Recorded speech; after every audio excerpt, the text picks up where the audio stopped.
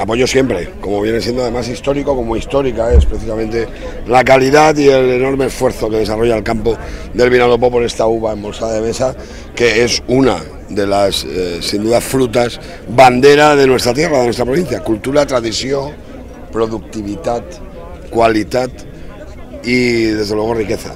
Riqueza que redistribuyen. Yo quiero hablar de eso, de toda la cultura y toda la tradición que encierra la uva embolsada de mesa del Vinalopó, del enorme esfuerzo que se sustenta, en el que se sustenta que al final en el plato, en la mesa, podamos disfrutar de un manjar de nuestra tierra.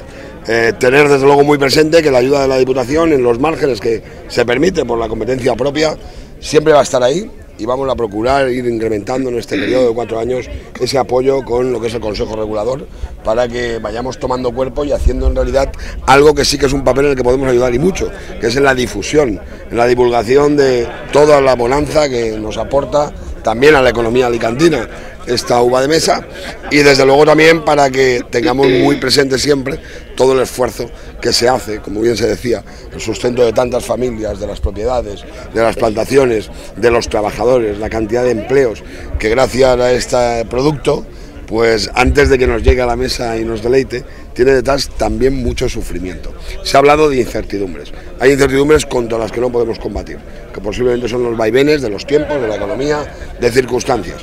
Pero hay cuestiones en las que podemos actuar. La digitalización es una herramienta importante que nos contribuye a ser mejores y ahí puede estar la Diputación con el Consejo Regulador.